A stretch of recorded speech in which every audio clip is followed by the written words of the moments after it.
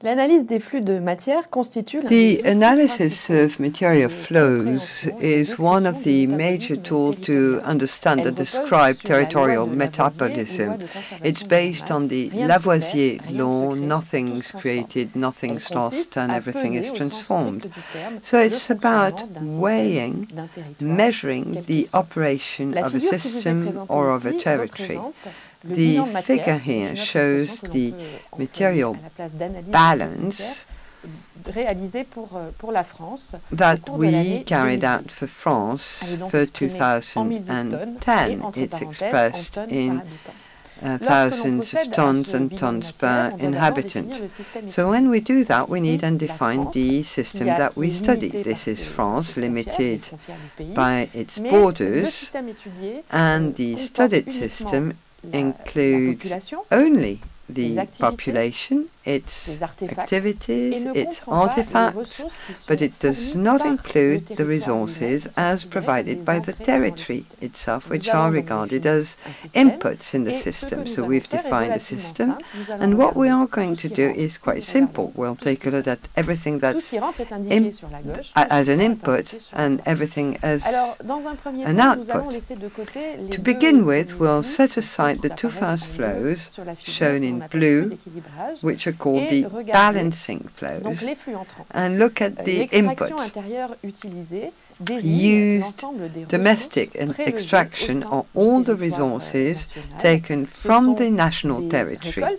So these are the harvests, wheat for instance, wood, which is uh, taken from the forest, construction materials, or fossil fuel, small quantities in the case of a country like France.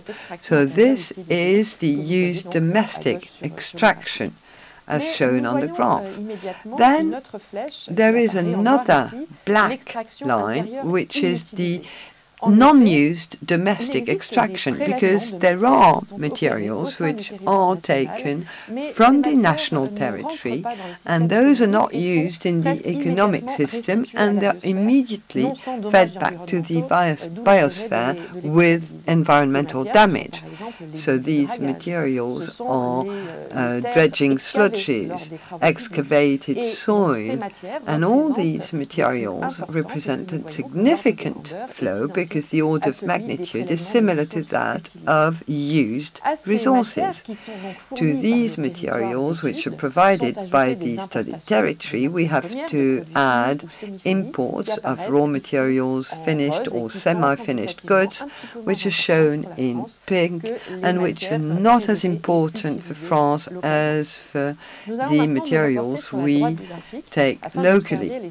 Let's look at the output from the system starting from the bottom with exports, which are slightly less important than imports.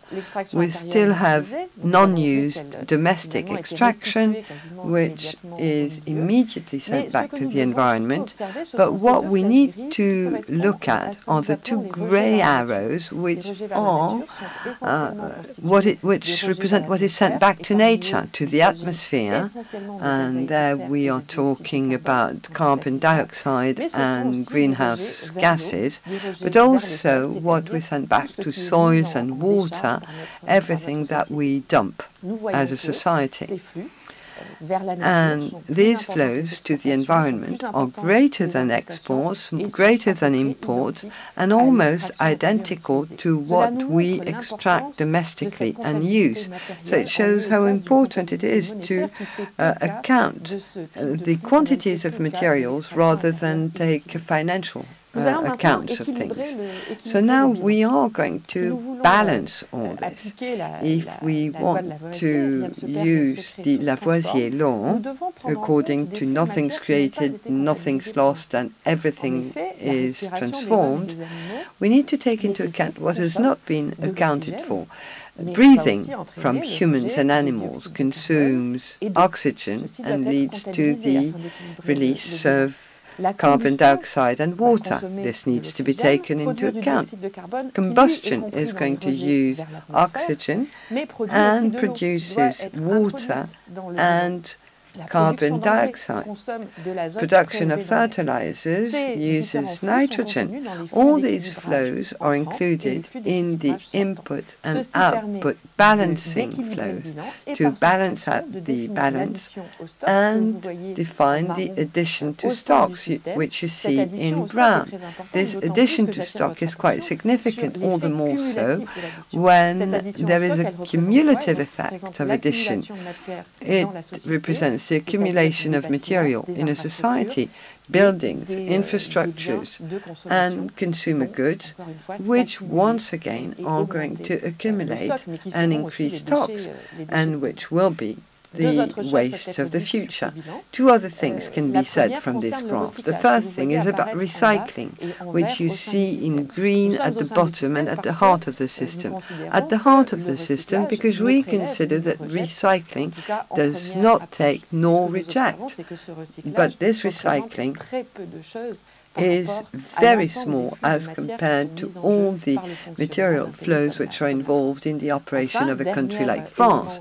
And last very important element are indirect flows linked to imports and export. When we import a finished or semi-finished product in a given territory, we import an object that required consuming material which was higher than the material it, it contains, but in another country, in another territory.